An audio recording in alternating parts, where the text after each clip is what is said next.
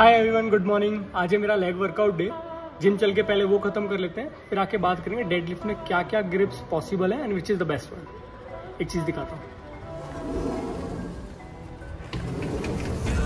Say I'm craving hope in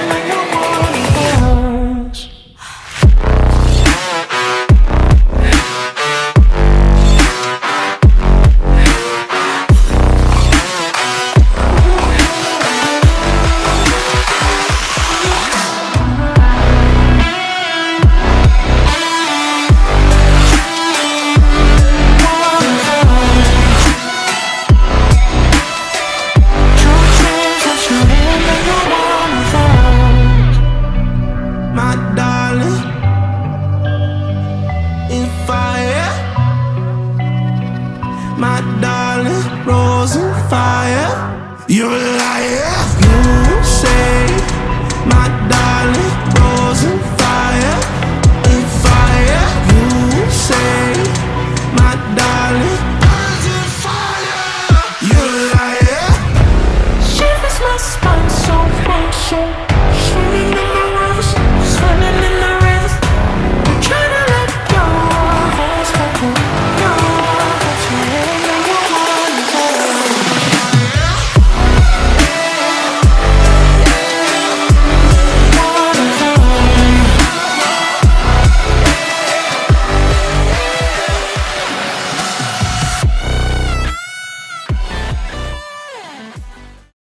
I am in my home gym right now इसका tour मैं आपको किसी और दिन दूँगा।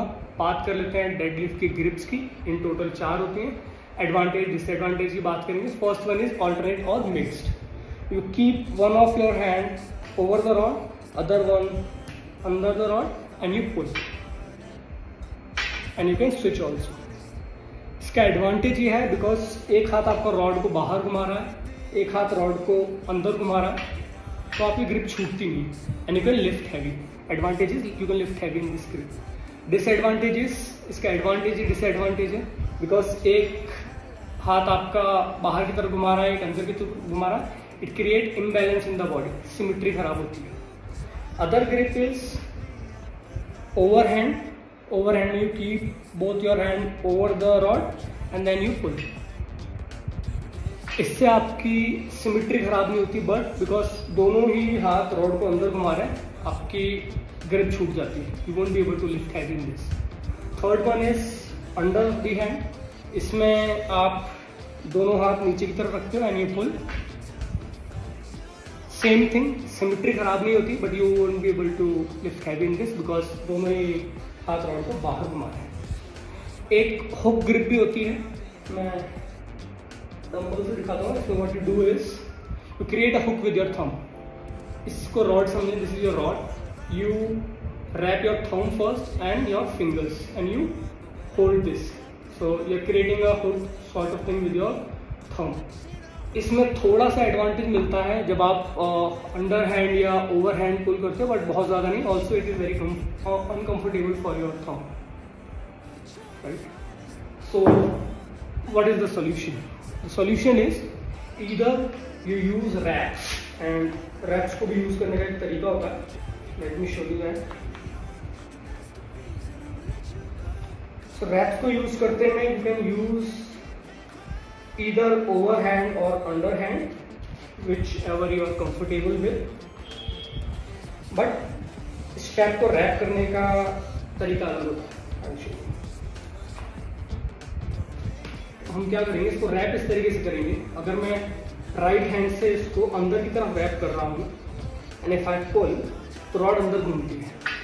तो मैंने इसको अंदर की तरफ़ से रैप करके होल्ड कर लिया इस वाले को मैं बाहर की तरफ़ से रैप करूँगा सो दैट जब मैं इसको खींचूँ तो ये बाहर की तरफ़ मूव विच मीन्स एक हाथ अंदर घुमाएगा, एक हाथ बाहर घुमाएगा। रॉड कहीं जाएगी grip would be fine and मेरी जो हाथों की ग्रिप है, वो सिमिट्री है। So it won't create imbalance in my body and I will be able to push more and lift more this is one solution there is one more solution kind of impractical but let me tell you उसमें हम क्या कर सकते हैं? You choose any of the grip you choose alternate grip.